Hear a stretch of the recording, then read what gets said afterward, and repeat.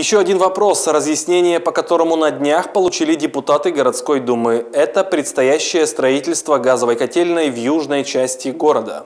Почему это необходимо с точки зрения поставщика энергоресурсов компании «Регион Газинвест»? И к чему готовится жителям поселка? Эти и другие вопросы народные избранники задали генеральному директору компании «Регион Газинвест» Александре Коротковой.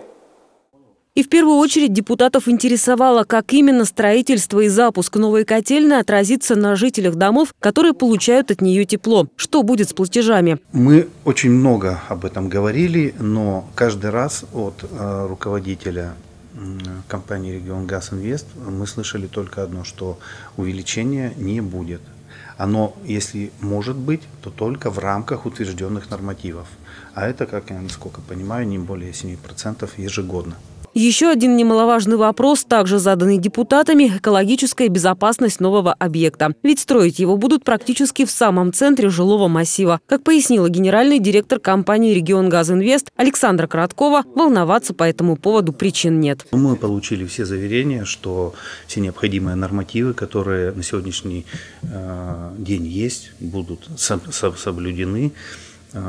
И они уже соблюдены, потому что проект на сегодняшний день прошел все экспертизы, и а, значит, уже в 2019 году планируется летом эту котельную построить, и дай бог к новому сезону ее запустят в эксплуатацию. Стоит отметить, что новая котельная, общая мощность которой составит 36 мегаватт, станет самой мощной из построенных в городе регион газом. Еще бы, ведь в сети теплоснабжения она должна заменить старую котельную мотозавода, отапливающую большую часть поселка. При этом данный проект – это далеко не вся работа, намеченная компанией на ближайшие пять лет.